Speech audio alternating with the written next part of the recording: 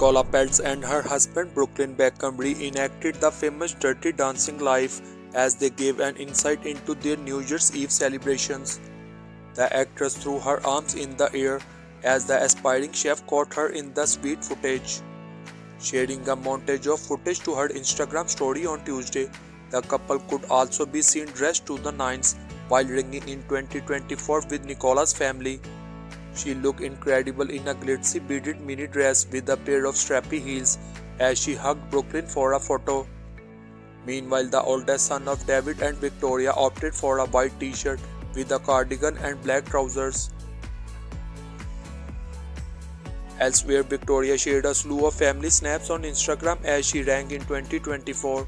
The fashion designer uploaded some unseen photos on Monday from their pre Christmas trip to the Bahamas, where they were joined by Brooklyn's wife Nicola. Other photos included New Year's Eve in London with the Beckham brood, all dressed up for dinner after dining at the Ritz with her parents.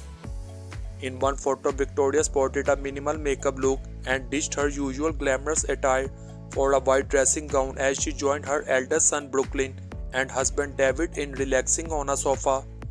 In another, the whole family, minus Romeo 21, who did not join them on the trip, hit the beach with Posh opting for black sportswear. Harper smiled for the camera as she joined dad David, Alegi Victoria Cruz, Nicola, and Brooklyn. Other unseen photos showed Romeo dressed up in a grey double breasted suit as he posed alongside his girlfriend Mia Regan in the Beckham's London townhouse on New Year's Eve.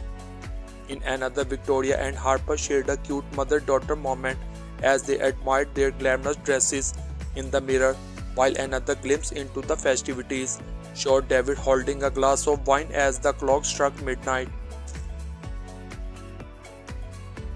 So thanks for watching this video and don't forget to like, share, comment and subscribe the channel for more videos.